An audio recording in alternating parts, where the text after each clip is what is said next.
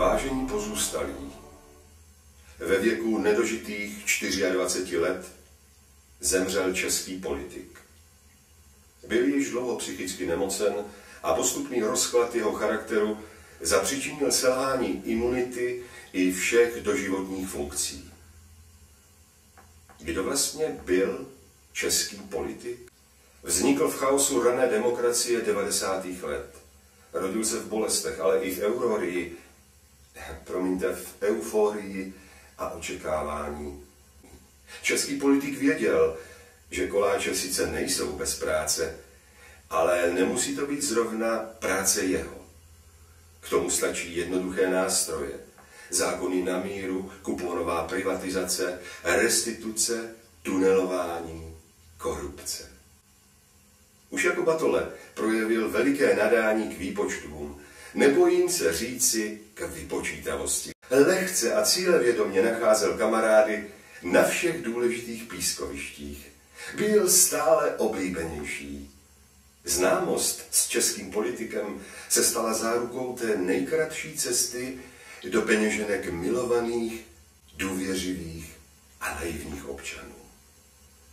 Přiznejme, měl i malé nedostatky. Český politik prosul svojí velkou chutí k jídlu, někdo by mohl říct i nenažraností. Některým z nás mohlo snad i vadit jeho hlasité mlaskání.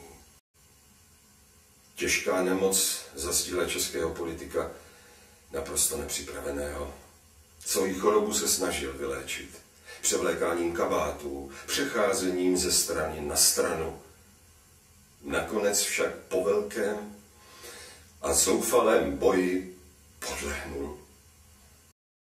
Český politik byl osobou značně rozporuplnou. Nedokázal se vyvarovat některých chyb. Vzpomeňme například omylem navýšené poslanecké platy. Odchodem českého politika končí jedna éra. V době celosvětové recese se v srdci Evropy zrodilo nejvíce miliardářů a kmotrů na kilometr čtvereční. Smrt českého politika je však pro mnohá světová média jasným signálem k možnému zlepšení. Konkrétně například Le Gazelle ve svých komentářích očekává příznivý vývoj. Cituji. Hůř už snad být nemůže. Pozůstalí, smutní a zoufalí voliči občané s nadšením uspořádali sbírku na mramorový náhrobek. Shodli se také na textu, který do něj bude vryt. Nikdy nezapomenu.